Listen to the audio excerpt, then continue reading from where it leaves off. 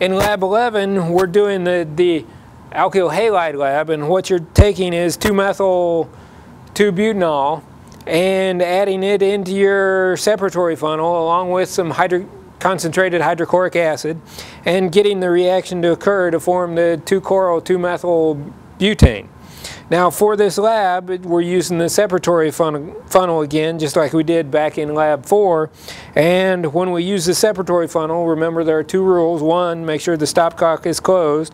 And two, always make sure you have something underneath the separatory funnel for when you forget rule number one.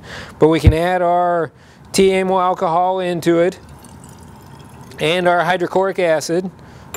And this is just water to, to show, but we put the cap on and just in, gently invert the separatory funnel, venting it every once in a while.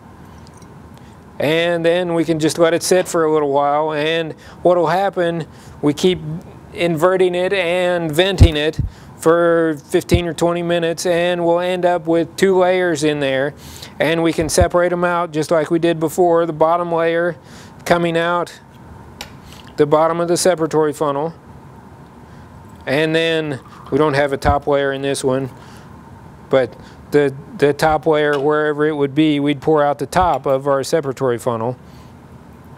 And then the organic layer will take on and do our extraction to do all the purification on it and getting rid of the, the concentrated hydrochloric acid, which will just go down the, will dilute down with water and then we can pour down the sink with lots of water to dispose of it.